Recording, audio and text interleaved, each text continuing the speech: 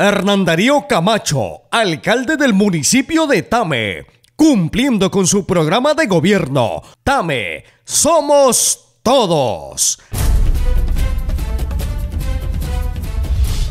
50 internos que estaban detenidos en las estaciones de policías de los diferentes municipios del departamento de Arauca fueron trasladados a la cárcel de Arauca. Así se descongestionaron las salas de retención. La Policía Nacional realizó acompañamiento del traslado de varios internos del Centro Penitenciario y Carcelario de Arauca a otras cárceles del país para poder descongestionar también las estaciones de policías.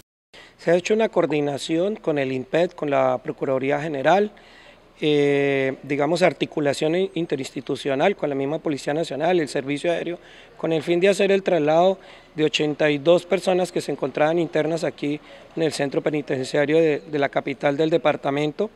Eh, dentro de ese ejercicio pues se logran trasladar 82 personas a Tierra Alta, Córdoba.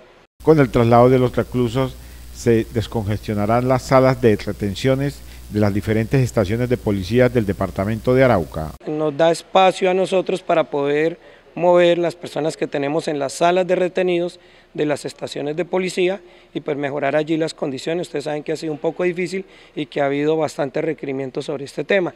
En este momento pues ya nosotros hemos evacuado alrededor de 50 personas de las estaciones de policía y pues seguimos en ese ejercicio de trasladar pues digamos lo que nos permita el INPET durante estos días.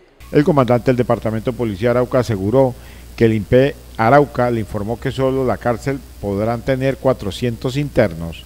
Eso es lo que nos informa el INPET y pues en la medida que ellos nos vayan dando cupo nosotros estaremos inmediatamente trasladando a estas personas a este centro penitenciario. En los últimos días han sido trasladados 50 reclusos que se encontraban en las estaciones de policía a la cárcel de Arauca.